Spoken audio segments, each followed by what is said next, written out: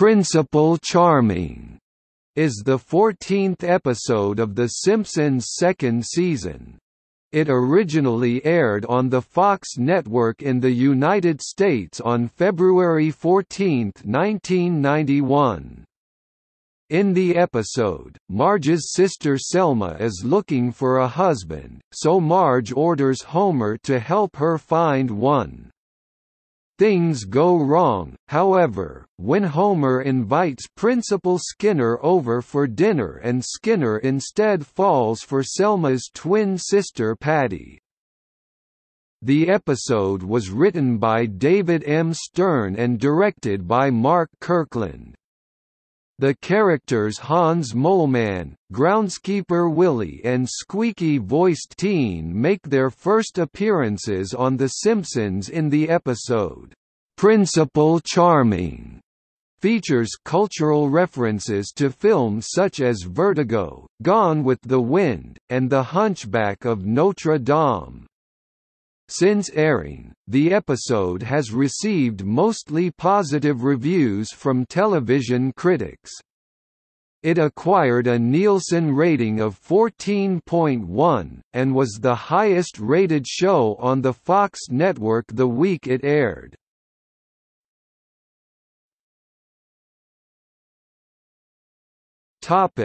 Plot Selma realizes, after going to the wedding of a man that could have easily been hers if Patty had not intervened, that she needs to find a husband and begs Marge to help her. Marge enlists the help of Homer to seek one out, however, Homer has trouble finding anyone suitable. Meanwhile, Bart pulls a big prank by pouring the fictional herbicide sodium tetrasulfate onto the grass of his school, spelling out his own name, and is caught when Principal Skinner sees the mess. Homer meets with Principal Skinner about Bart's behavior and, learning that Principal Skinner is single, invites him home to dinner with Selma. Later that day, Principal Skinner arrives for dinner, but instead of falling for Selma, he becomes instantly smitten with her sister, Patty after she yells at Homer for being the wrong twin. Principal Skinner asks an unwilling Patty out on a date and she tries to get out of it by refusing. However, as they are going home, Selma tells her that she needs to go on this date because she has not been with a man in 25 years and this would be her best chance to still have a family. On their first date, Patty does not seem impressed with Principal Skinner until he yells at his former student for his lack of promptness. Soon after they go out on more dates, much to Selma's chagrin and she realizes another decent man has just slipped past her. Principal Skinner enlists Bart's help to get Patty to marry him, while Homer fixes a date between Selma and Barney, which Selma reluctantly accepts. Marge disapproves of Barney and demands Homer to find someone else suitable for her sister. Skinner takes Patty to the top of the bell tower to propose. Following Bart's lead, he has written, "'Marry me, Patty' in 40-foot letters using the sodium tetrasulfate that got Bart in trouble. Patty is flattered, but declines. She admits to Principal Skinner that she shares a common bond with the emotional grief of her twin sister, which Principal Skinner immediately understands.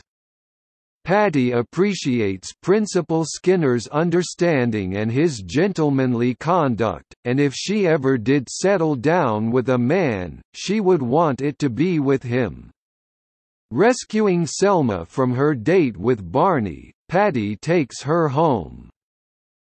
Meanwhile, Principal Skinner, who vows to win back his school from Bart's control who was taking advantage of the fact that Principal Skinner loves Patty and turned a blind eye from all of Bart's recent vandalism, destroys all the grass on the school field with the sodium tetrasulfate, forcing Bart to replant the field seed by seed, much to groundskeeper Willie's satisfaction.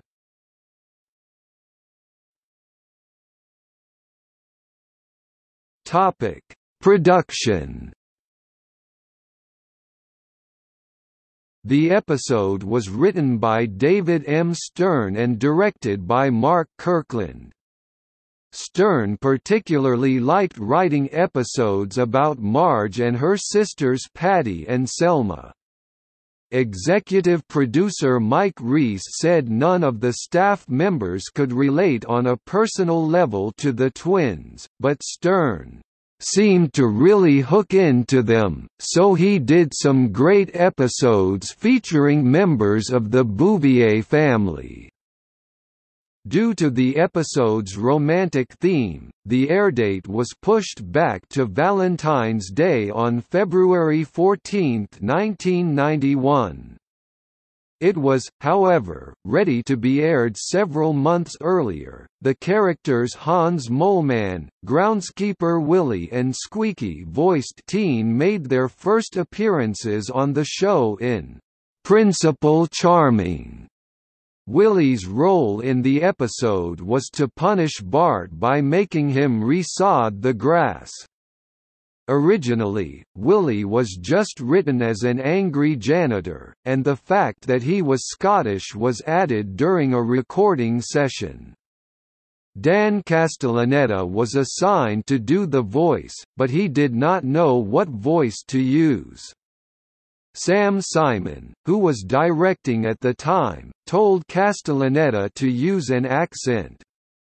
He first tried using a Spanish voice, which Simon felt was too cliched. He then tried a big dumb Swede, which was also rejected.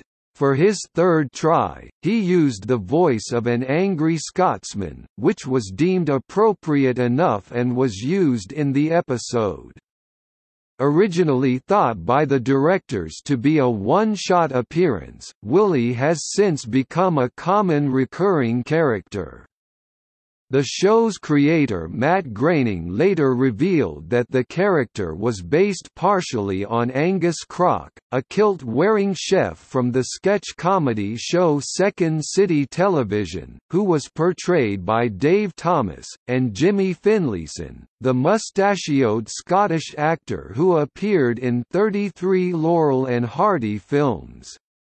In addition to Willie, Castellaneta also provided the voice of squeaky-voiced Teen, whose voice is lifted from actor Richard Crenna's character Walter Denton in the sitcom Our Miss Brooks. Moleman's voice was also provided by Castellaneta. He was given the name Moleman by Groening, who thought the character looked like a mole.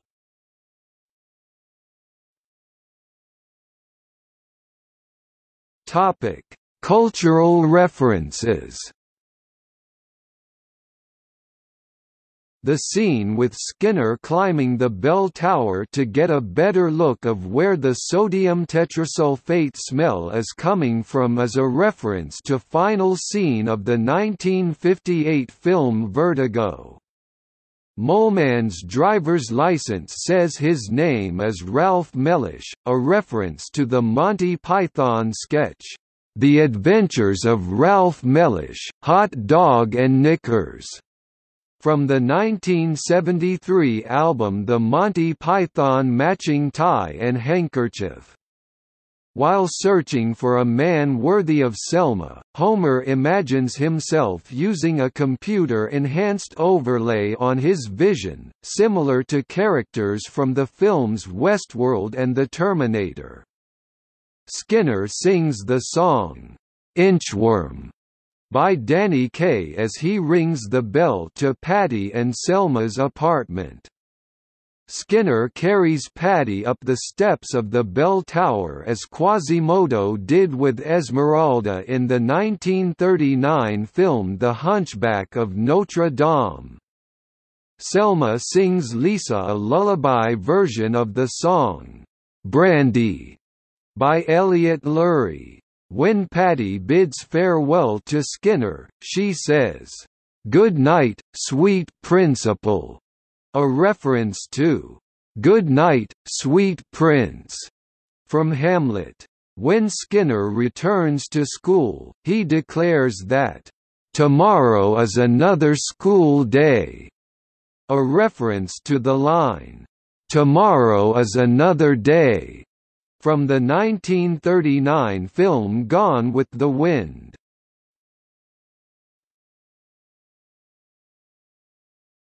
Topic: Reception In its original broadcast, "'Principal Charming' finished 32nd in the ratings for the week of February 11 to 17, 1991, with a Nielsen rating of 14.1, equivalent to approximately 13 million viewing households. It was the highest-rated show on the Fox network that week. Since airing, the episode has received mostly positive reviews from television critics.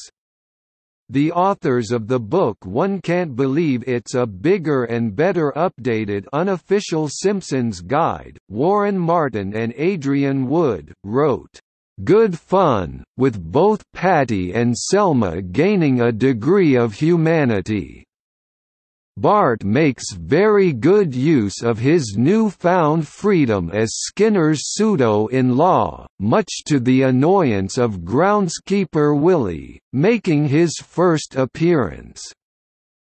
DVD Movie Guide's Colin Jacobson wrote, Many shows might have trouble concentrating on secondary characters like Skinner and Patty, but this episode worked nicely. Though the romantic tone could have become sappy, the program managed to stay on the right side of that equation, and it expanded the characters well. Doug Pratt, a DVD reviewer and Rolling Stone contributor, wrote that the episode is heavily character-orientated but poignantly comical. A member of the IGN staff wrote in a Season 2 review, there are some real winners to be found in the second season, and I was actually surprised at some of the episodes in the collection because I thought they were later in the series, like Principal Charming, where Skinner falls for Patty. Bill Goodykoontz of the Arizona Republic said, "'Principal Charming' was the episode that made it clear that The Simpsons wasn't just a smart little cartoon but something much, much more. The episode's references to Gone with the Wind and Terminator were named the sixth and fifth greatest film references in the history of the show by Nathan Ditum of Total Film. Dawn Taylor of the DVD Journal thought the best line of the episode was Moe's line to the depressed Homer, "'Homer, lighten up. You're making happy hour bitterly ironic." A reviewer for DVD Net, on the other hand, thought that the best line was Skinner's Kiss Me Patty, I don't have cooties.